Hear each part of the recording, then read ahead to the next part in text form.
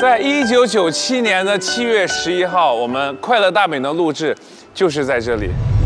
快乐大本营，天天好心情。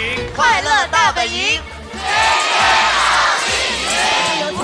我觉得快乐大本营的这个名字很特别，很快速的就把大家聚拢到一块儿了。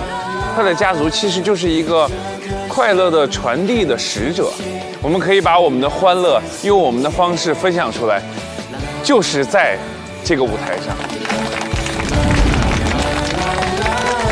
我第一次站在快乐大本营的舞台上的时候，我也是有有畏惧，有尊敬，也会有不确定和害怕在里面。但是慢慢我熟悉了这个舞台，我熟悉了喜欢我的观众之后，我觉得我两个脚踩在这里的时候，我就会觉得我的根基就是跟我们的湖南广电是连在一起的。其实我们就是带给大家快乐的使者。快乐大本营，我们是大本营十五周年庆典。大本营，天天好心情。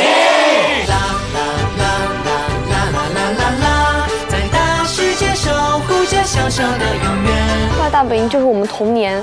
周六晚上就可像过年一样，就是一家人坐在一起，然后嗑瓜子儿，然后就不会说太多话。但是对于我来说，它不仅仅是童年，也不仅仅是梦想，就又是我一个家庭。然后还有我每次觉得难过、坚持不住，就是觉得孤独的时候，带给我的一种陪伴。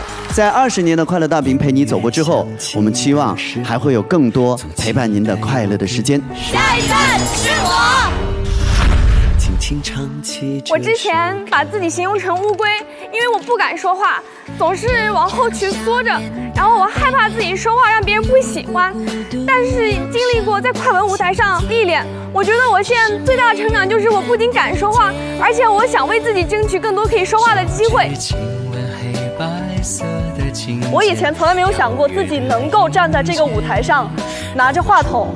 能够有人愿意听我说话，是快本给了我这个机会。我之前觉得我手上的话筒就像是战士手上的那杆枪，我不能放下来。但是我现在想把我手上的这个话筒变成我自己的魔法棒，我希望把自己的成长、把自己的蜕变、把自己的快乐带给所有人。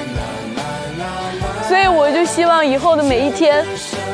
我都可以更努力的把最简单、最纯粹的快乐传递给每一个人。